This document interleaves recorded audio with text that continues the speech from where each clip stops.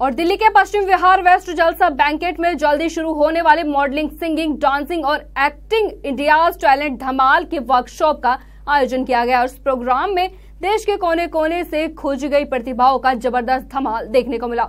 और जज के रूप में आए मशहूर singer Pankaj Jaswani UVA film director VK Sharma Seema Dongra और मशहूर मॉडल सनी चौहान भी मौजूद रहे। वहीं इंडिया टैलेंट धमाल अपने आप में एक खास शो है।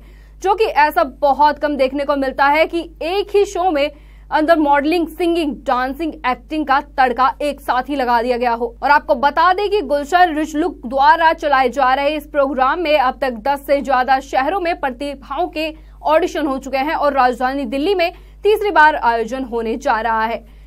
और वही मॉडल सनी चौहान ने कहा कि इस वर्कशॉप में काफ़ी अच्छे प्रतिभागी हैं, जो कि अब सीख रहे हैं।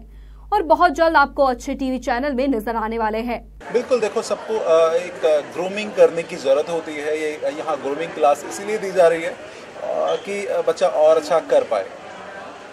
अभी हमने ऑडिशन लिए, शिमला, ग्वालियर, मेरठ, वहाँ से जो सेलेक्ट जो बच्चे थे, उनको सिलेक्ट करके हम यहाँ लेकर आए हैं। तो अब उन सबको ग्रूम करें और बहुत जल्द आपको एक अच्छे टीवी चैनल्स में नज़र आने वाले हैं। यहाँ पर आए प्रतिभागियों के परिजन भी अपने बच्चों की परफॉर्मेंस देखकर काफ़ी खुश नज़र आए। इंडिया धमाल टैलेंट शो ये जो दिल्ली में हो रहा है आ, पूरे इंडिया से यहाँ पे बच्चे सिलेक्ट होकर आए हैं और मेरी बेटी का यहाँ पे बहुत अच्छी परफॉर्मेंस हुई है। मैं चाहती हूँ कि यहाँ पे जो ये प्रोग्राम हो रहा है इससे मेरी बेटी आगे बढ़े मेरी बेटी को चांस मिले और ये बहुत अच्छा प्रोग्राम कर रहे हैं।